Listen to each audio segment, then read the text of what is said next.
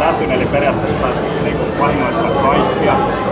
Se ei tapa niin mieluusti, koska se, se haavoittaa vain nelosella. Tai sitten laitetaan se PST on yksi, mikä osuu vain maksimissaan yhteen, mutta tappaa sen kakkosella.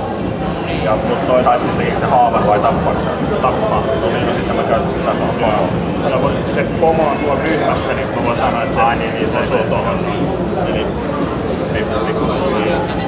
No tota, ja tää tekee vain yhden haavan, että toi pomo joka tapauksessa yhden vuoden säilyy. Joo. Räistetään, mä en ruveta miettimään. Ammutaan sillä kaksi kertaa. Vai yksi kerran? Kerran. Joo. Okei. Okay. Eli se on yksi. Joo. Kolmosella asuu. Joo. Munille. Se, se ei ihan mennyt munille. Tää on tää hyvä puoli okay. se, että se nyt sä et tästä noppaa. Mihin suuntaan? Joo. Tonne ei päin. Ei silmiin. Ja kahden napan verran. Kahden. Oh. Ja tästä matkasta voi ampua noin paljon pieleen. se on jossain täällä näin. Vai onko siinä kahdeksan? Joo. Se on. Joo, siellä jossain. Ihan harkasti. Nelosella on sun. Kaakos. Nelosella haavuttaa. T-paita. Perkele, jos se nyt vielä on. Ei, ei, ei. Se on Rekettonin riakala, eikö se T-paita?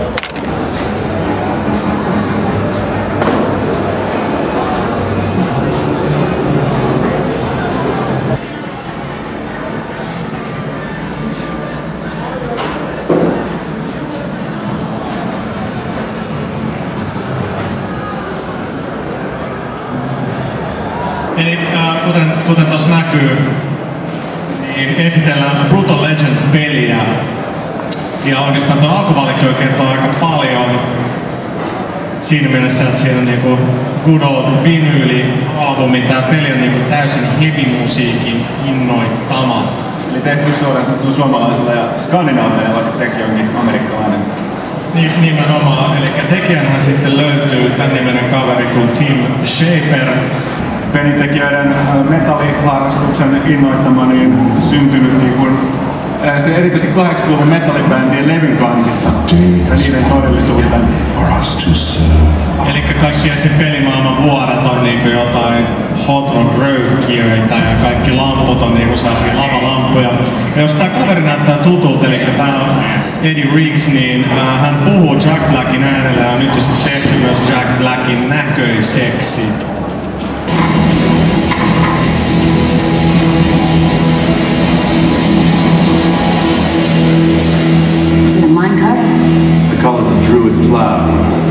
You it works. What you do, you slam it into goo, hoo, hoo, hello. Looks like it's working already.